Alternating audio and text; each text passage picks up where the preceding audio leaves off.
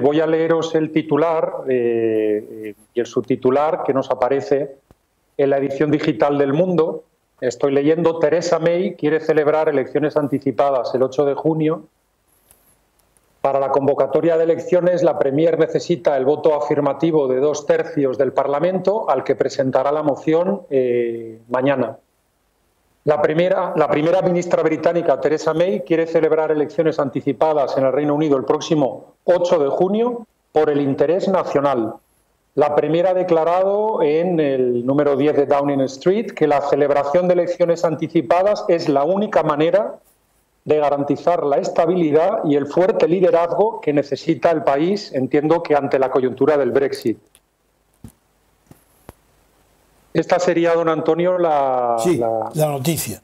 La eh, noticia. A mí me, lo que, nuestro comentario, el, mío, desde luego, y creo que también estarás de acuerdo, en que sorprende en, el continente lo que en Reino Unido y en la isla eh, deben estar no, considerar normal.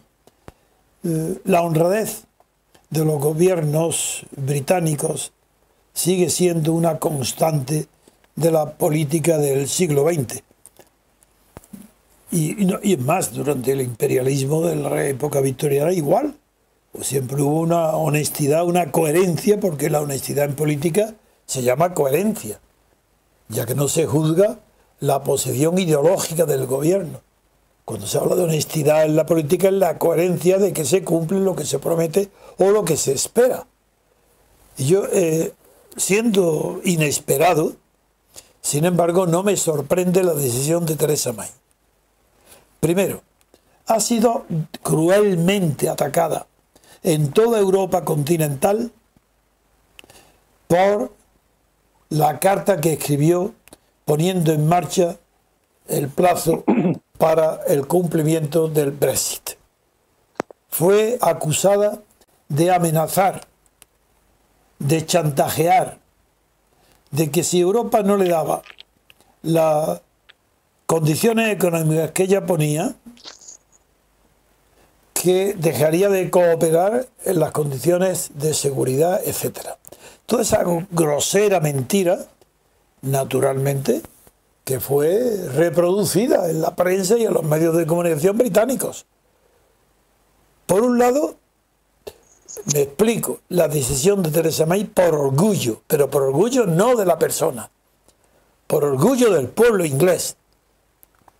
Segundo, por tanto, hay una primera razón, responder a la torpeza de Bruselas convocando unas elecciones innecesariamente, puesto que tiene la mayoría. ¿Por qué quiere tener, sin embargo, una amplia mayoría? Más, porque el Brexit requiere una gran fortaleza, una gran, una gran autoridad moral. Si no lo hace para aumentar su poder, puesto que lo tiene el mismo, lo hace para tener mayor legitimidad, mayor autoridad moral ante el pueblo británico, para mantener con firmeza las condiciones de negociación que va a presidir, que va a dirigir ella para eh, salirse eh, de la comunidad europea con dignidad y defendiendo eh, los intereses británicos de la manera más digna posible, sin chantaje alguno. Esas son las dos razones que yo veo para que haya convocado estas elecciones.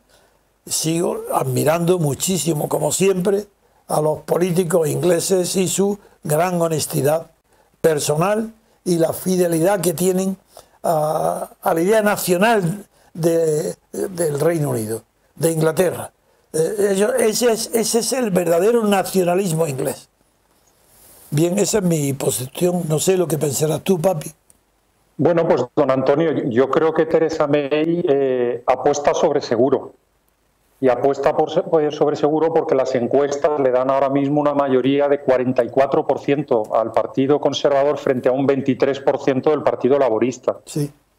Entonces, digamos que prácticamente con un doble de intención de voto, que es lo que tiene la señora May, está apostando sobre seguro para conseguir una mayoría en el Parlamento más fuerte que la que tiene ahora. ¿no? Ahora tiene una mayoría de 17 diputados, si no recuerdo mal, Y, claro, con, una distancia tal en las encuestas estaríamos hablando de que esta mayoría se, se incrementaría, ¿no?